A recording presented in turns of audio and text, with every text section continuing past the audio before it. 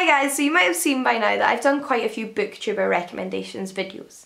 However, I don't just watch booktube channels and I would love to recommend to you my absolute all-time favourite YouTube channels which are not predominantly centred around books. This covers channels that go from comedy to politics and somewhere in between and hopefully there's something for everyone in this video. I mean if it was up to me I would have you subscribed to all of them because I think they're all fabulous and some of them in particular need a lot more subscribers than they have. In no particular order, first I'm going to mention Jazza from Rhyming with Oranges. Now I have been subscribed to Jazza since before I had a YouTube channel and I don't just mean this YouTube channel, I mean my first ever YouTube channel like almost six years ago. I love his channel, it's absolutely fantastic. He makes videos about politics and social issues. He's just one of the most well-spoken, considerate YouTube channels I have ever watched. He both does videos where he shares his own opinions, but he also does a lot of videos which try to be very neutral, open up the floor for questions and present information to you in a factual, accessible but interesting way, which I think is so, so important.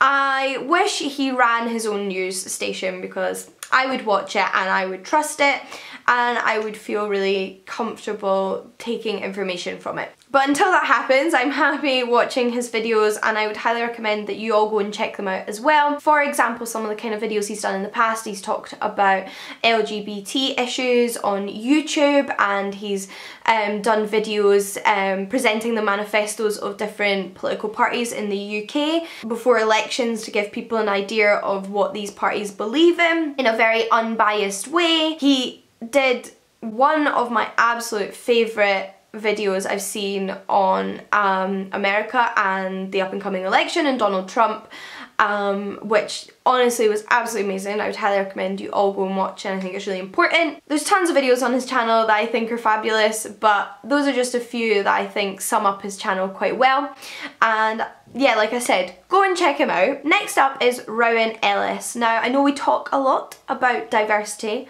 on YouTube and in booktube and are reading but if you really care about diversity and want to watch some informative and discursive videos on the topic then you have to check out Rowan's channel. She talks a lot about like I said, diversity, particularly in film. She talks about LGBTQ plus issues and representation in the media. She also discusses feminist issues and oh my god, her videos are incredible. They must take such a long time to make and I'm so impressed by every single one of them. Everything she does is incredibly well researched. She clearly knows her stuff when she's talking about it. And if you're a fan of pop culture, the media, television, film and YouTube, then if you want to watch some really insightful videos about those industries and areas of entertainment then you have to check out Rowan's videos. For example she's done a whole series of videos on LGBTQ plus tropes in the media. She's done a whole series about women and witches in television and film. She's tackled topics like the casting of Hermione as a black woman in the new Cursed Child play and it does not end there. I can't, again, I can't list them all. There's a few maybe to spark your interest. Next up is the channel for those of you who are particularly looking for a good laugh. I am going to assume a lot of you are already subscribed to this channel, but it is Tyrannosaurus Lex or Lex Croucher, who as you might have been able to guess, does mainly comedy videos. I really like her sense of humour. It's very dry and tongue-in-cheek and I really enjoy that. Her videos are usually very short format, quick, easy to consume, but also very clever and I really enjoy them. Again, another YouTuber I have been subscribed to potentially since before I even started making videos and to let you in on a, a little secret for those of you that love books, which I mean, presumably as all of you, sometimes she talks about books too. She does also occasionally do discussion videos on social issues as well. So lots of things to get your teeth into on her channel. Again, another channel I would highly recommend you check out. But if we're talking about comic channels, on the YouTubes, then nobody makes me laugh more than JonBeHere. It honestly personally offends me that he doesn't have more subscribers. I, I just cannot fathom it. He is so funny. I absolutely love his videos. Ju they just make me laugh every single time. They're clever, funny. Again, he's often quite dry in his humour and I, don't know what else to say other than his channel is hilarious.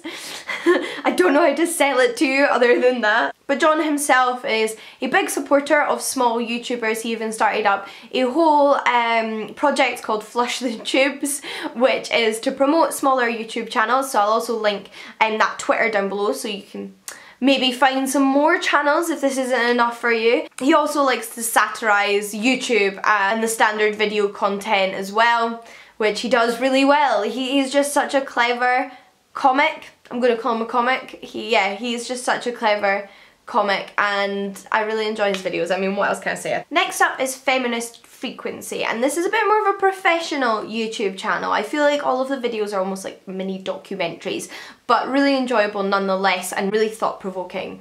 And the channel predominantly looks at video games and generally popular culture's representation of women, sex, sexism. I mean, it's called feminist frequency, you can kind of gather what the intention is, but it's so... Again, I feel like I repeat myself in some of these turns of phrase, but it's so well researched and so well presented and you'd think it couldn't be trolled and throwing a hissy fit at it but sometimes I feel like the better the more constructive, well-researched, intelligent videos on social issues are the, the ones that get the most hate. And it's probably because it makes people feel insecure about their prejudices and they don't like it. If you want to see some just truly, truly good content on YouTube, then Feminist Frequency, highly recommend. On the topic of more professional channels, I want to mention Owen Jones. Now, Owen Jones is a professional journalist. He writes for The Guardian, he's published multiple books, specifically Chavs and The Establishment. And like you, I am instantly mistrustful when mainstream media and journalists get all up in YouTube because they often do it completely wrong their channels are a flop and they're embarrassing to watch. this is not the case for Owen Jones. Owen Jones knows what he's doing. He's an inc incredibly clever young man and journalist. I respect a lot of his political views. I find myself agreeing with him on most things. Um, but I also particularly like the way he presents everything. Again, very accessible, very intelligent. His videos are just an amazing commentary on current politics, particularly in the UK, but Elsewhere too, he knows no boundaries. and if you're already a follower of his writing in newspapers and um, books, and you didn't know he had a YouTube channel, well, there you go, you must go subscribe because he's just fantastic. Um, he recently interviewed Michael Moore on his channel and but generally he just does face to camera videos like you know most of us do and they're just absolutely fantastic. Love his channel. Next up is Bry and Candice. Bry and Candice are a married couple who actually have their own channels. I've mentioned Candice before in a booktuber recommends video because she often uh, talks about books on her channel, obviously, and that's called Candy Something, and Bry is a musician who publishes his music on his YouTube channel, but they have a shared YouTube channel where they film videos together and I love them. Their videos are fantastic, often quite funny so if you like funny videos then highly recommend checking them out. They travel a lot, their Bry at least is trying to visit every country in the world so they're kind of ticking them off. They're, they're doing alright, I think they're in the 60s now, correct me if I'm wrong, but so they also take the camera along on their travels.